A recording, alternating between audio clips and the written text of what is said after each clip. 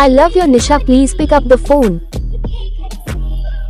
I love your Nisha, please pick up the phone. तो दोस्तों आप सबके साथ सबके तो बढ़िया होंगे सबके साथ बढ़िया है ना? दोस्त आज का आई लव यू निशा नाम का इंट्रो लेकर अगर आपको अपने नाम का आपके दोस्त के नाम का आपके गर्लफ्रेंड के नाम का। किसी के नाम का इंट्रो अच्छी तो मैं कमेंट में कमेंट करके ज़रूर बताएँ। एंड चैनल पर जो भी पहली बार आ रहा हूँ उससे रिक्वेस्ट है वो सब्सक्राइब कर सब्सक्राइब जैसे बेल नोटिफिकेशन कर लेना जिसमें आपका प्रोडक्ट का नोटिफिकेशन जाएगा। आप सकते हो अंडर कब अपने फ़ोन में सेव कर सकते हो।